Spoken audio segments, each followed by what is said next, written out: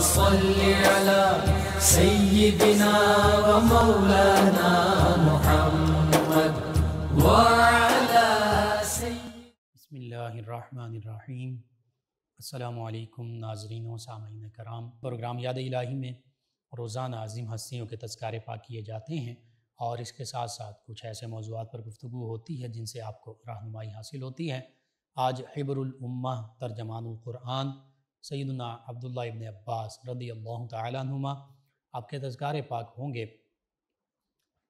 सैदना अब्दुल्ला इबन अब्बास रज़ी अल्लाहुमा नबी करीम रऊफ़ुररहीम सलात व तस्लीम के चचा जद भाई हैं और सिलसिला नसब भी फिर वही है जो आका करीम सल्लल्लाहु अलैहि वसल्लम का है।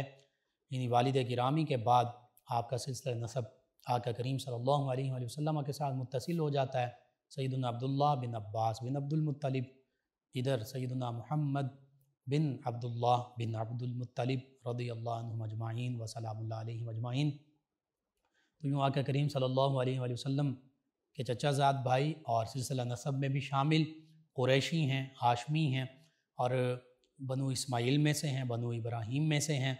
नबी करीम सल्लल्लाहु अलैहि वसल्लम के साथ इतनी ज़्यादा क़ुरबत माइत और रफ़ाक़त आपको हासिल रही और फिर इसके साथ साथ, यानी नबी करीम सल्लल्लाहु अलैहि वसल्लम के घराने में तो शामिल हैं ही, नबी करीम सल्लल्लाहु अलैहि वसल्लम मुबारक वसल्लम की सहाबियत का शर्फ भी आपने पाया। विलादत बादत के हवाले से ज़िक्र किया जाए तो सईदना अब्दुल्ला इबन अब्बास रज़ी अल्लाहुमा आपकी विलादत बादत मक्तुलमकरमा में हुई और शेब अबी तालिब में हुई और उन दिनों में हुई जब कुफ़ार मक्का ने नबी करीम सल्लल्लाहु अलैहि वसल्लम के खान वादे का बनु हाशिम का सोशल बाइकआउट किया हुआ था। माशी और माशरती मुकाता किया हुआ था। तो उस मौका पर सईदना अब्बास रज़ी अल्लाह और आपका घराना, ये भी शेब अबी तालिब में महसूर था, यहीं मौजूद था। तो यहीं पर दस नबवी में, यानी आका करीम सल्लल्लाहु अलैहि वसल्लम के ऐलान नबूत फरमाने के दस साल बाद शेब अबी तालिब में सईदना अब्दुल्ला बिन अब्बास रदी आपकी विलादत बासादत हुई। आका करीम सल्लल्लाहु अलैहि वसल्लम ने इनका नाम नाम इसमें गिरामी अब्बास रखा। अब्बास का माना भी धाड़ता हुआ शेर। और फिर नबी करीम सल्लल्लाहु अलैहि वसल्लम की रहमतों और नज़र रहमत में आप पले बड़े। सईदना अब्दुल्ला बिन अब्बास रज़ी अल्लाह की जो वालिदा हैं सैदा उमुलफ़ज़ल लुबाबा रदी अल्लाह इन्होंने भी इब्तदा में इस्लाम कबूल किया था। सईदना अब्बास रज़ी अल्लाह के बारे में याद है कि इन्होंने भी इस्लाम कबूल किया, अगरचे थोड़ा बाद में, लेकिन इन्होंने अपने इस्लाम को खुफिया रखा। उसमें कई हमतें थीं, जब आका करीम सल्लल्लाहु अलैहि वसल्लम मदीना तय्यबा हिजरत करके तशरीफ़ लाए तो मक्तुलमकरमा में जो मुसलमान होते, उनकी माली और दीगर हवाले से आ, मदद जो होती थी वो सईदना अब्बास रज़ी अल्लाह ये फरमाते थे। और दूसरी जानब मक्तुलमकरमा में कुफ़ार के जो मामलात होते बाज़ का वो जंगों की तैयारी कर रहे थे गजवा बदर गजवा तो उन की जंगों की तैयारी और दीगर मामला की ख़बरें जो हैं वो सईदन अब्बास रज़ी अल्लाह खामोशी के साथ मदीना तो यबा पहुँचा दिया करते थे ख़त लिख कर या कोई कासिद भेज कर। तो इस हवाले से सईदन अब्बास रज़ी अल्लाह नबी करीम सल्लल्लाहु अलैहि वसल्लम और साहब कराम रिदवान के लिए एक मुखबिर के तौर पर मक्तुलमकरमा में मौजूद थे, अपने इस्लाम का इजहार नहीं फरमाया और फिर बिलखसूस जब इजहार फरमाया भी तो आका करीम सल्लल्लाहु अलैहि वसल्लम ने फिर भी इन्हें मक्तुलमकरमा में ही रहने का हुक्म इरशाद फरमाया और इनके लिए फ़रमाया कि आप मक्तुलमकरमा में से मदीना तय्यबा हिजरत करने वालों में से सबसे आखिर होंगे। सबसे आखिरी होंगे। बहरहाल, इस हवाले से ये भी सैदना अब्दुल्ला इबन अब्बास रज़ी अल्लाह को ये भी शर्फ हासिल है कि नबी करीम सल्लल्लाहु अलैहि वसल्लम की एक जोजा मतहरा उमुलमिन सईदा ममूना बिनत हारिस रज़ी अल्लाह ये सईद अब्बास रज़ी अल्लाह की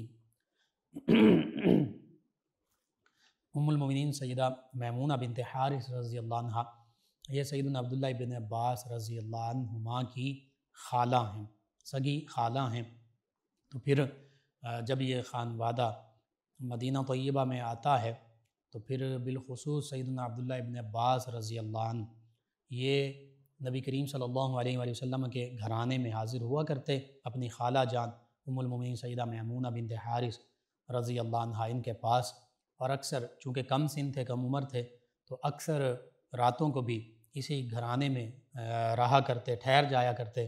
तो उन रातों में नबी करीम सल्लल्लाहु अलैहि वसल्लम के मामूलात, आपका इबादत करना, आपका तहजद पढ़ना इसको मुलाहिजा किया करते, देखा करते और बाज़ का नबी करीम सल्लल्लाहु अलैहि वसहाबी वबारक वसल्लम की खिदमत भी बजा लाया करते। कभी वज़ू के लिए पानी ले आते तो नबी करीम सल्लल्लाहु अलैहि वसल्लम फिर अपनी दुआओं से इनको नवाजा करते इस पर भी बात होगी। तो यूँ आका करीम सल्लल्लाहु अलैहि वसहाबी वबारक वसल्लम के साथ बहुत ज़्यादा क़ुरबतें हैं। चचा ज़ात भाई, फिर नबी करीम सल्लल्लाहु अलैहि वसल्लम की जोजा के भांजे, ये भी एक नस्बत हासिल है। फिर नबी करीम सल्लल्लाहु अलैहि वसल्लम के साथ सहाबियत का शर्फ़ कि इन्होंने बहुत कम सीनी में ही इस्लाम को कबूल किया, इस्लाम की दौलत से मुशर्रफ़ हुए और फिर जब इस्लाम की दौलत से मुशर्रफ़ हुए, अभी ये कम सिन थे। आठ साल का भी ज़िक्र मिलता है। इससे ज़्यादा का भी ज़िक्र मिलता है। बहरहाल, ग्यारह साल का भी ज़िक्र मिलता है। तो नबी करीम सल्लल्लाहु अलैहि वसल्लम की बारगाह में जब हाज़िर हुए और फिर इस पूरे घराने ने आठ हिजरी में मदीना तय्यबा हिजरत की तो फिर सैदन अब्दुल्ला बिन अब्बास रज़ी अल्लाह अक्सर दिन के अवकात में भी नबी करीम सल्लल्लाहु अलैहि वसल्लम की बारगाह में हाज़िर हुआ करते। रहा करते और फिर अक्सर रातों में भी अपनी खाला जान सैदा में सैदा मैमूना बिनते हारिस रज़ी अल्लाह इनकी बारगाह में जब हाज़िर होते हैं तो रात को वहीं पर क़्याम होता।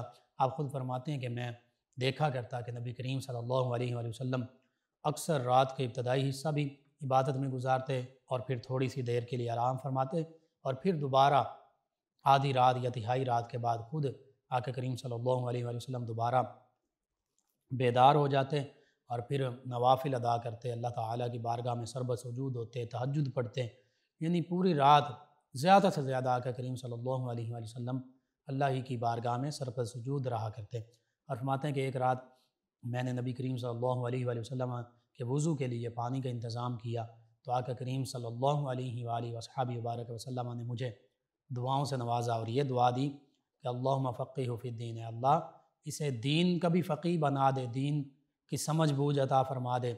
और फरमाया कि ये भी अल्लाह की बारगाह में दुआ की कि अल्लाह, इसे कुरान का इल्म भी अता फरमा दे। तो ये नबी रहमत सल्लल्लाहु अलैहि वसल्लम की दुआओं का समर था कि सैदन अब्दुल्ला इबन अब्बास रज़ी अल्लाहुमा आप मुफसर कुरान भी बने, आप तर्जमानकुरान भी बने और आप फ़कीह उम्मत भी बने। या का करीम सल्लल्लाहु अलैहि वसल्लम जिन्हें दुआओं से नवाज़ दें, फिर उनके फ़क़ाहत और उनके इल्म कुरान का क्या आलम होगा? है हम अपनी नाकस अक़ल और फ़हम से कित जो जो हमारी अक़ल फ़हम है उसके मुताबिक ही तस्वुर कर सकते हैं। हकीकत यह है कि फिर उन्हें उस हस्ती को जिसके बारे में आकर करीम सल्लल्लाहु अलैहि वसल्लम ने दीन की फ़क़ाहत और कुरान के ूम की त, के लिए दुआ फरमा दी उनके ूम कुरान और उनकी फ़क़ाहत वरावरा है। इस हवाले से ख़ुद सैदना अब्दुल्ला इबन अब्बास रज़ी अल्लाह फरमाया करते थे और दीगर लोग जो हैं, दीगर साहब कराम और बिलखसूस ताबीन इज़ाम अली मरदवान ये फरमाया करते थे कि सैदना अब्दुल्ला इबन अब्बास रज़ी अल्लाह को अल्लाह ताला ने कुरान मजीद फ़ुरान हमीद का इतना इल्म अता फ़रमाया है ूम कुरानिया के इतने माहिर हैं कि ये तालीम कुरान में कभी बुखल नहीं करते।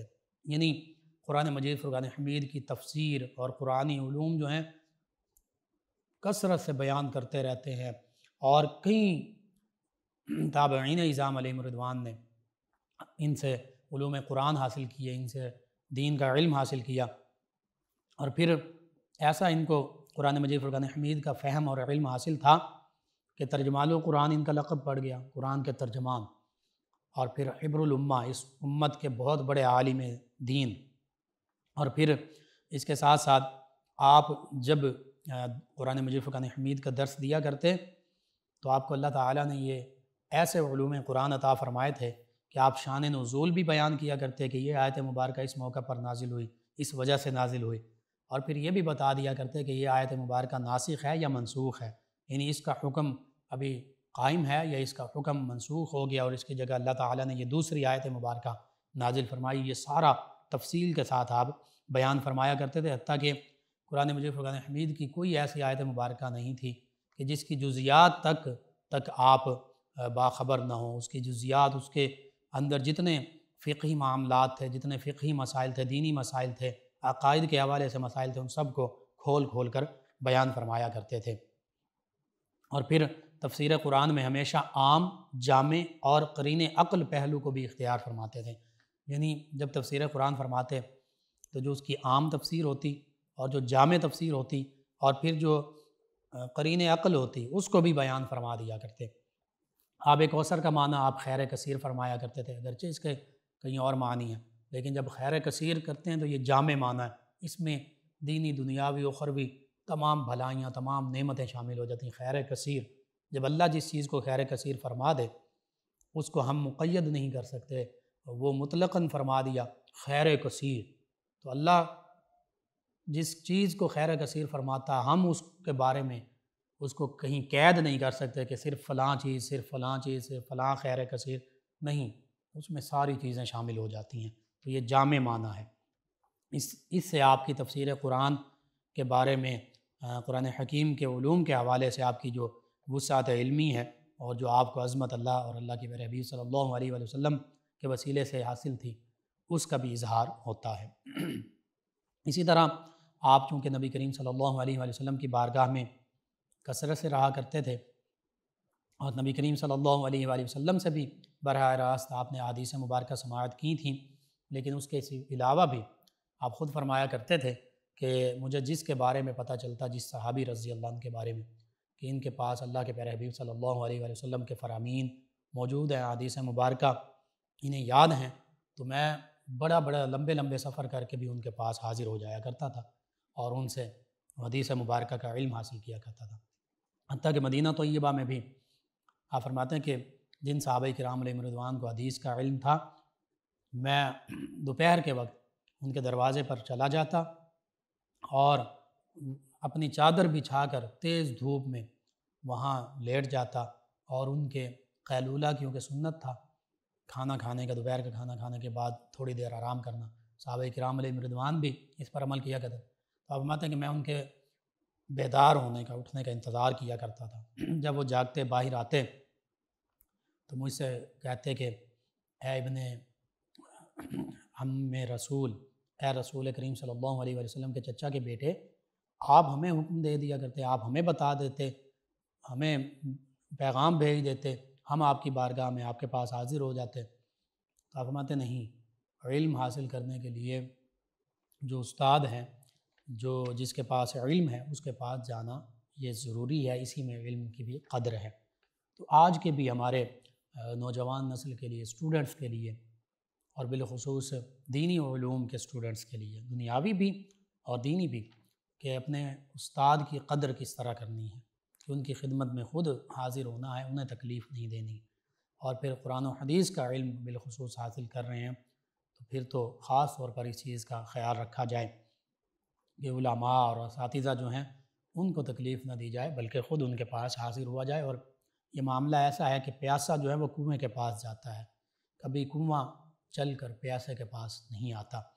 हाँ बाज़ का तो ये होता है कि इल्म जो बादल होते हैं, वो ख़ुद चल कर कहीं भी बारिश बरसा देते हैं, जहाँ अच्छी और जरखेज़ ज़मीन होती है। ये मामला, और वो बारिश जो है कभी कभी बरसती है, हमेशा, और हर रोज़ ये मामला नहीं होता। बहरहाल हज़रत सईदना अब्दुल्ला इबन अब्बास रज़ी अल्लाह आप तर्जमानकुरान हैं और सईदना उम्र फ़ारूक़ आज़म रज़ी अल्लाह दीगर को किबार साहब कराम मरदवान उनसे भी बहुत से ूम सीखे। फिर सईदना आली मुर्तज़ा करम करीम की बारगाह में भी रहे। सईदन उम्र फ़ारूक़ आज़म रज़ी अल्लाह के आप मुशीर थे, सईदन अब्दुल्ला इबन अब्बास रज़ी अल्लाह अगरचे कम उम्र थे, लेकिन सईदन उम्र फ़ारूक़ आज़म रज़ी अल्लाह इनके इल्मी कदर मंजिलत की वजह से इनको बदरी साहब कराम और दीगर साहब कराम के साथ इनको शामिल फरमाया करते थे। इस पर लोगों ने एतराज़ भी किया था तो आपने यही फरमाया था कि अल्लाह ताला ने इन्हें बड़ी आज़मत और कदर और इल्म से नवाजा है। और क्यों ना होता? नबी करीम सल्लल्लाहु अलैहि वसल्लम ने जब दुआ फरमा दी, आके करीम सल्लल्लाहु अलैहि वसल्लम की हर दुआ मुस्तजाब होती है, अल्लाह की बारगाह में बारियाब होती है, कबूल होती हैं। इसी तरह अदीस मुबारक के हवाले से अगर आपके इल्म को देखा जाए तो आप हाफिज़ुल हदीस भी थे और बिलखसूस छब्बीस हज़ार, दो हज़ार छः सौ साठ, यानी छब्बीस सौ साठ अदीस मुबारक आप से मुख्तलिफ़ आगे ताबीन तबा ताबीन निज़ाम मरदान उन्होंने रिवायत की हैं, जिनमें से पचहत्तर अदीस मुबारक जो है मुतफ़न आलई हैं, यानी सही बुखारी और सही मुस्लिम दोनों में मौजूद हैं, और आठ रिवायात ऐसी हैं जिनमें सिर्फ़ इमाम बुखारी मुनफरद हैं जो सिर्फ़ सही बुखारी में हैं और उनचास रिवायात ऐसी हैं जो सिर्फ़ सही मुस्लिम में मौजूद हैं। इमाम मुस्लिम इसमें मुनफरद हैं। तो इससे क्या पता चलता है? इससे ये पता चलता है कि नबी करीम सल्लल्लाहु अलैहि वसल्लम के फ़रामीन मुबारक से भी आपको बड़ी महब्बत थी। बरह रास्त भी अगरचे कम उम्र थे। नबी करीम सल्लल्लाहु अलैहि वसल्लम के विशाल मुबारक पर आपकी उम्र तकरीबन चौदह से पंद्रह बरस थी। तो उस मौका पर जो आदिश मुबारक ख़ुद समात की, वो भी रिवायत की। और जो दीगर साहब कराम मरदवान के ज़रिए से आपने आदिश मुबारक समात की, अख़ज़ की, हासिल की, उनको भी रिवायत किया और ये बहुत बड़ी तादाद है, दो हज़ार छः सौ साठ आदिश मुबारक। और फिर अगर मुख्तलिफ़ तुरुक और मुख्तलिफ़ किताबों और उनका तस्करा किया जाए तो फिर ये तादाद और ज़्यादा बढ़ जाती है। बहरहाल, साहब कराम मरदवान में से जो कसर रिवायात करने वाले हैं साहब कराम उनमें आप शामिल हैं। सईद अबू हुरैरा रज़ी अल्लाह हैं, सईद आयशतुल्सिद्दीक़ा रज़ी अल्लाह हैं। इसी तरह आप हैं सईद अब्दुल्ला बिन अब्बास रज़ी अल्लाह सईद अब्दुल्ला बिन उमर रदी अल्लाहुमा इसी तरह आलमरतज़ा करम करीम से भी रिवायात काफ़ी हैं। दीगर साहब कराम मरदवान तो बहरहाल इससे ये पता चलता है कि आप कुरान मजीद फ़ुरान हमीद के भी मुतबाहिर आलिम थे, बहुत बड़े आलिम थे और मुफसर थे। और उसके साथ साथ मुहदस भी थे और फिर फ़कीह उम्मत भी थे। फ़कीह ऐसे थे कि आप बाज़ात फ़िकी मामला में शर्य मामला में दीगर साहब कराम मरदवान से ज़ाहरी तौर पर हट कर आपका अमल होता था। तो जब साहब कराम मरदवान आपसे पूछते कि ये मामला कैसे है? तो आप बता दिया करते कि फ़लाँ सहाबी या सहाबिया उनके पास चले जाएँ, उनसे पूछ लीजिए, क्या नबी करीम सल्लल्लाहु अलैहि वसल्लम को उन्होंने ऐसा करते और फरमाते हुए नहीं सुना। और आका करीम सल्लल्लाहु अलैहि वसल्लम का अमल नहीं था। तो वो जब उन सहाबी या सहाबी रज़ी अल्लाह अन हो के पास जाते तो हकीकत में वही मामला होता। यानी आप अगरचे कम उम्र थे दीगर साहब कराम रदवान की नस्बत, लेकिन किबार साहब कराम रदवान से बरह रास्त आप कुरान हदीस भी और फिर फ़िकी मामला भी अखज़ किया करते थे। और अगर जब कोई ऐसा मामला होता, साहब कराम रदवान आपसे पूछते तो आप बता दिया करते कि मैंने तो फ़लाँ साहबी रदी अल्लाह उनसे बर रास्त ये मामला से सुना है, आप उनसे तस्दीक कर सकते हैं। तो ये फ़िकी मामला में भी आपको अल्लाह ताला ने बहुत बड़ा मकाम मरतबा था फरमाया था। फिर वही बात कि आका करीम सल्लल्लाहु अलैहि वसल्लम ने जब दुआ फरमा दी, अल्लाह फ़क़ी दीन, के अल्लाह इसे दीन का फ़क़ी बना दे तो अल्लाह ताला ने यूँ आपको फ़क़ी बनाया कि फिर बड़े बड़े साहब कराम मरदवान भी आपसे मसाइल पूछा करते थे। इसी तरह आपका जो हल्क़ दर्स था आप चूँकि दर्स दिया करते थे बिलखसूस मक्तुलमकरमा में काफ़ी अरसा आपने दर्स दिया, वो बहुत वसी था। उसमें ताबीन इज़ाम मरदवान भी शामिल थे, उसमें दीगर तबा ताबीन इज़ाम मरदवान भी शामिल थे। तो आपके उस दर्स में कुरान का दर्स भी होता, हदीस का दर्स भी होता, फ़िकी मामलात पर भी गुफ्तु होती और बाज़ कई दूर दूर से लोग आ, आकर आपके दर्स में शामिल होते। अब खिलाफत राजदा के दौरान। अहद नबूत सल्लल्लाहु अलैहि वसल्लम, जो ज़ाहरी अहद मुबारक है, उसमें नबी करीम सल्लल्लाहु अलैहि वसल्लम की दुआएँ हासिल की, मोहब्बत हासिल की, खिदमत करते रहे और आका करीम सल्लल्लाहु अलैहि वसल्लम से अदीस मुबारक समात करते रहे। उसके बाद भी सैदना अबू बकर सदीक रज़ी अल्लाह के अहद मुबारक में भी ूम हासिल करते रहे, चूँकि कम उम्र थे। फिर बिलखसूस सैदन उम्र फ़ारूक़ आज़म रज़ी अल्लाह के अहद मुबारक में उनके मुशीर थे। और सैदन उम्र फ़ारूक़ आज़म रज़ी अल्लाह इनको अपने मशवरों में, मामलात में शामिल फरमाया करते थे। सैदन अब्बास रज़ी अल्लाह उनके साथ साहब कराम मरदवान की बड़ी मोहब्बत का आलम था। सईद उम्र फ़ारूक़ आज़म रज़ी अल्लाह सईद अबू बकर सदीक रज़ी अल्लाह अगर वो आ रहे होते तो अपनी सवारी से ही हस्तियाँ उतर जाती और उतर कर उन्हें सलाम पेश करती। तो पता चला कि साहब कराम और बिलखसूस खलफ़ा राशिदीन रदी मजमाइन नबी करीम सल्लल्लाहु अलैहि वसल्लम और आपके घराने और आपके खानवादे के साथ बड़ी मोहब्बत और अदब का अंदाज बचा लाया करते थे। बहरहाल, सईदना अब्दुल्ला इबन अब्बास रज़ी अल्लाह सईदना उमर फ़ारूक आज़म रज़ी अल्लाह के अहद मुबारक में हमेशा साथ रहे। फिर सईदना उस्मान ज़ुनूरैन रज़ी अल्लाह के भी मुशीर रहे, उनके अहद मुबारक में उनके साथ रहे। बिलखसूस जब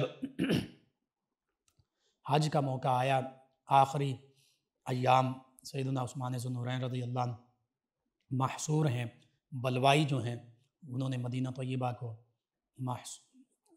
का मुहासरा किया और बिलखसूस कसर खिलाफत जो है और सैदना उस्मान ज़ुनूरैन अल्लाह का जो काशाना मुबारक उसका मुहासरा कर रखा है। तो उस मौका पर सैदना उस्मान ज़ुनूरैन अल्लाह ने अपनी जगह पर हज के लिए जिन्हें अमीर मुकर फरमाया, वो सैदना अब्दुल्ला इबन अब्बास अल्लाह आप ही हैं।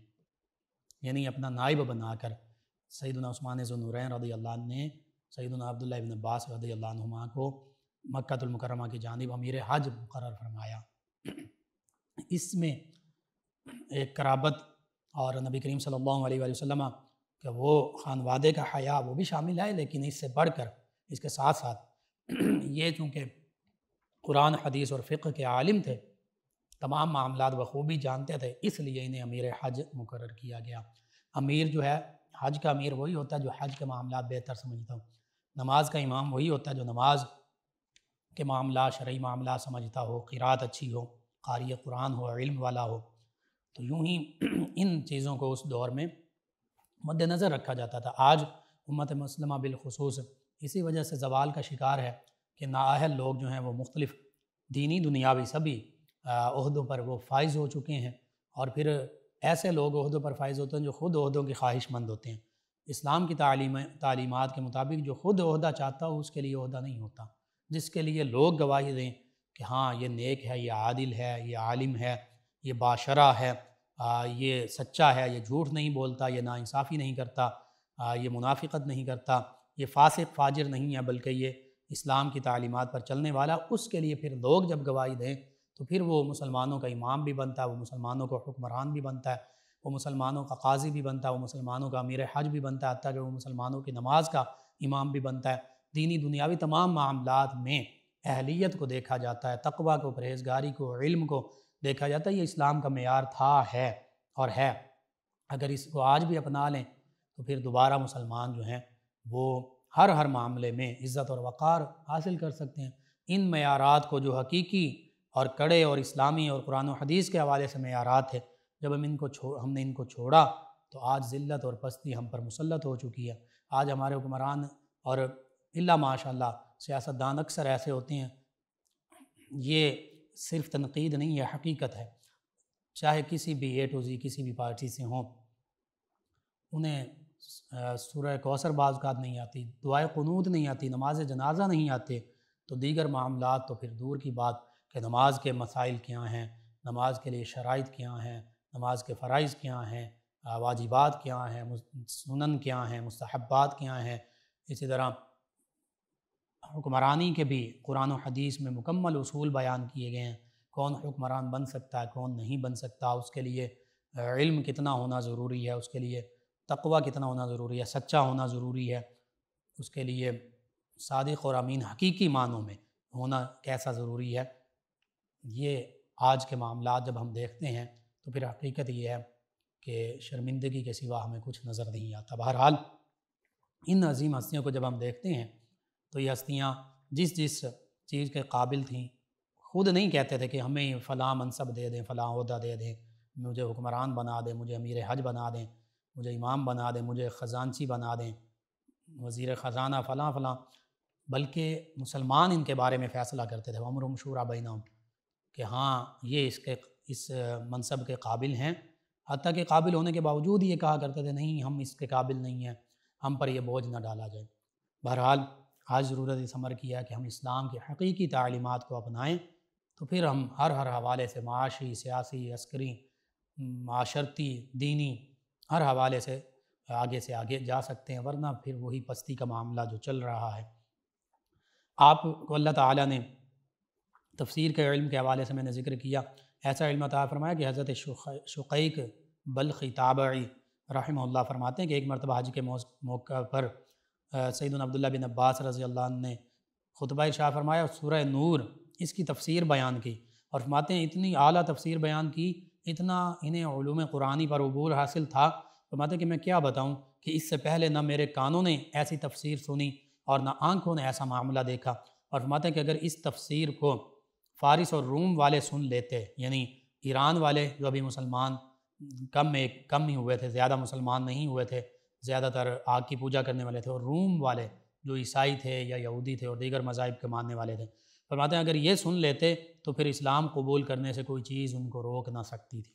ऐसी हस्तियाँ, ऐसा इल्म कि अगर गैर मुस्लिम कुरान और हदीस का इल्म इनसे सुन लें तो वो गैर मुस्लिम ना रहें, वो मुसलमान बन जाएँ। और हकीकत यही है कि जो कुरान और हदीस का हकीकी इल्म है, वो अगर गैर मुस्लिमों तक पहुँच जाए, उनकी ज़बान में पहुँच जाए तो जिन्हें अल्लाह ताला ने अक़ल सलीम अता फ़रमाई है, जो सोचने समझने वाले हैं, तासुब नहीं बरतते थे, वो इस्लाम कबूल कर लें और इस्लाम कबूल कर रहे हैं आज भी। कुरान को सुनकर नबी करीम सल्लल्लाहु अलैहि वसल्लम के पैगाम को सुनकर आज इस्लाम सबसे ज़्यादा तेज़ी से फैल रहा है। सिर्फ़ वो कुरान हदीस और इस्लाम की वजह से फैल रहा है। मुसलमानों की वजह से इल्ला माशा आम तौर पर नहीं फैल रहा। इसी तरह आपके ज़ाती साफ़ सखावत फरमाया करते थे, बहुत ज़्यादा लोगों की मेहमान नवाजी किया करते थे। एक मरतबा एक शख्स ने आपको तंग करने के लिए बज़ाहिर, चूँकि आप मक्तुलमकरमा में रहते थे तो कबीला कुरैश के तमाम सरदारों को कहा कि कल सुबह इबन अब्बास, यानी सईद अब्दुल्ला इबन अब्बास रज़ी अल्लाहुमा इनके घर में आप सब की दावत है अपनी तौर पर उसने कह दिया। सईद अब्दुल्ला अब्बास रज़ी अल्लाह को मालूम ही नहीं था। तो अगले दिन सुबह के वक्त सब लोग जो हैं वो सईद अब्दुल्ला इबन अब्बास रज़ी अल्लाह के घर में हाज़िर हो गए, वहाँ जमा हो गए और मजमा इतना ज़्यादा था कि सारा का सारा घर लोगों से भर गया। तहकीक करने पर, यानी पूछने पर मालूम हुआ कि ये किसी ने इस तरह का मामला किया, लोगों को कह दिया कि अब्दुल्ला इबन अब्बास रसी अल्लाह उनकी जानब से सब लोगों को दावत है। तो आपने सबको बिठाया। ये नहीं फरमाया कि मैंने दावत तो की नहीं है। और बाज़ार से फलों के टोकरे मंगवाए, ढेर सारे। और सब लोगों के सामने रख दिए और फिर मुख्तलिफ़ अमूर पर बातचीत शुरू कर दी। और इसी दौरान आपने बहुत से बावर्चियों को कहा कि तुम खाना पकाने पर लग जाओ। तो वो ज़्यादा से बावर्ची थे, वो तेज़ी से खाने पकाने में लग गए। अभी लोग फल खाने से फारिग नहीं हुए थे कि खाने उनके सामने तैयार करके पहुँचा दिए गए, रख दिए गए। सबने पेट भर कर खाना खाया। जब खाना खा चुके सब तो आपने अपने ख़जानचियों से पूछा कि इतनी गुंजाइश है कि अगर हम रोज़ाना यही दावत जारी रखें? तो उन्होंने कहा, जी, बिल्कुल गुंजाइश है। तो आपने उस मौका पर ऐलान कर दिया कि तमाम लोग जो आज आए हैं, इन सब के लिए मक्तुलमकरमा के तमाम लोगों के लिए, मेरी तरफ़ से रोज़ाना के लिए यूँ ही दावत है।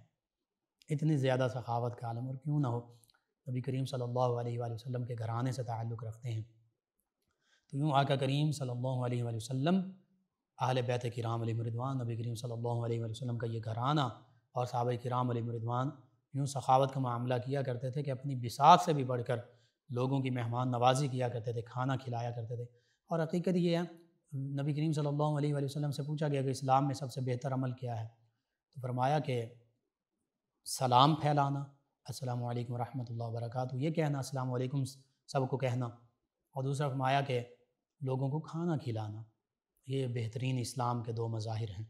तो आज भी ज़रूरत इस अमर की है कि हम मुसलमान एक दूसरे को सलाम कहें, ज़्यादा से ज़्यादा सलाम को आम करें और बिलखसूस सभी को खाना खिलाएँ। बिलखसूस अगर कोई मुस्तक हैं, कोई भूखा है, प्यासा है, जिसके खाने के लिए नहीं कुछ, उसके घर तक खाना पहुँचा दें, उसको दावत देकर अपने घर में उसको खाना खिला दें, राशन उस तक पहुँचा दें। ये राशन पहुंचाना, ये भी खाना खिलाना है। यानी वो उससे खाना खाता रहेगा, वो रोटी पकाएगा या सालन पकाएगा, जो भी खाने पीने की चीज़ों का इंतज़ाम करेगा आपके दिए हुए राशन से तो ये उसको खाना खिला रहे हैं आप। बस अल्लाह रब्बुल इज़्ज़त से दुआ, अल्लाह ताला हमें इन अजीम हस्तियों के नक्श कदम पर चलने की तोफ़ी अता फ़रमाए।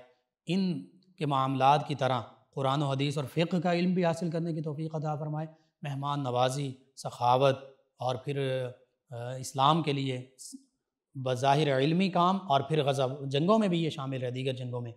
तो उन जंगों में भी, यानी इस्लाम की खातिर जहाँ जहाँ ज़रूरत पड़े पड़े इन साहब कराम रिदवान की तरह, इन नबी करीम वसल्लम के खान वादे के हस्तियों की तरह, हमें भी हर हर मौका पर आगे से आगे बढ़ चढ़ कर हिस्सा लेने की तोफ़ी अता फ़रमाए। आमीन।